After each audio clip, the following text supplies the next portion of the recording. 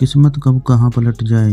इसके बारे में कुछ कहा नहीं जा सकता। किस्मत चमकने का ऐसा ही किस्सा इन दिनों अमेरिका से सामने आया है, जहाँ एक कपल को घर की सफ़ाई के दौरान एक बक्से में मिले, जिसे खोलते ही वह लखपति बन गए। घर में मिले सत्तर साल पुराने बक्से ने बदल दी शख्स की किस्मत। बेसमेंट में मिले नब्बे साल पुराने डॉलर। अक्सर आपने वो कहावत तो सुनी होगी, किस्मत को कहाँ पलट जाए, इसके बारे में कुछ कहा नहीं जा सकता। किस्मत अगर चमक जाए तो आदमी पल भर में लखपति बन जाता है। वहीं अगर किस्मत साथ छोड़ दे तो आदमी करोड़पति से सीधा रोडपति बन जाता है। किस्मत चमकने का ऐसा किस्सा इन दिनों अमेरिका से सामने आया है, जहाँ एक कपल को अपने घर से साफ़ सफ़ाई के दौरान पुराना बक्सा मिला, जिसे खोलते ही उनकी किस्मत पलट गई। कपल ने सोचा भी नहीं था कि घर की साफ़ सफ़ाई में उनके हाथ घर में छिपा खजाना लग जाएगा। मामला अमेरिका के ओयो से सामने सामने आया है, जहाँ एक कपल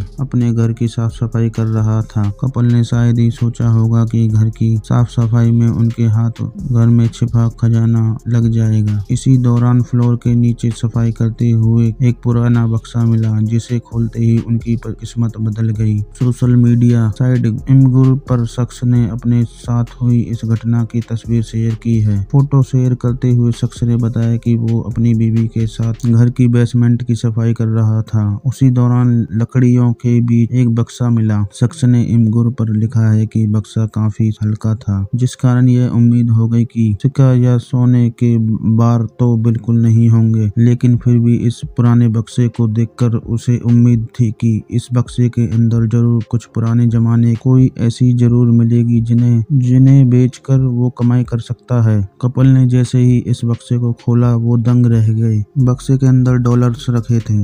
जब उन्होंने टोटल पैसे को गिना तो अंदर से करीब तैतीस लाख रुपए मिले।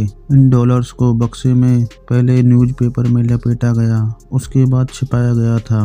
सारे नोट 1928 से 1934 के बीच के थे। मामला जैसे ही वायरल हुआ, लोगों ने शख्स की किस्मत की दाद दी तो वहीं लखपति बनने पर एक शख्स की किस्मत से लोगों को जलन हो गई है। आई होप यू गाइस, अगर आपको वीडियो अच्छी लगी हो तो वीडियो को लाइक, चैनल को सब्सक्राइब करें। Thank you so watching video. धन्यवाद।